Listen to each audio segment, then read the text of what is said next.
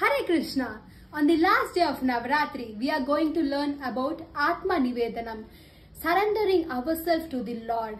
There was a Bali Maharaj who was ruling three lokas.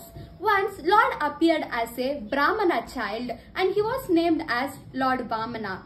Vamana came and asked Bali Maharaj for three steps of land. At that time, Bali Maharaj, Guru Sukracharya, he warned Bali Maharaj saying that no, you don't give him, he came to kill you. But also Bali Maharaj didn't listen that.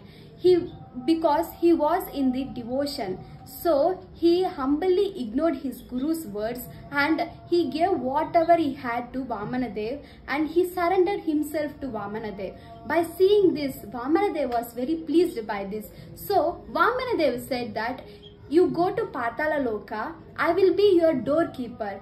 By this, this shows that if we surrender ourselves to Lord Krishna, He will be pleased by this and He will serve us more than what we served for Him. Thank you. Hare Krishna.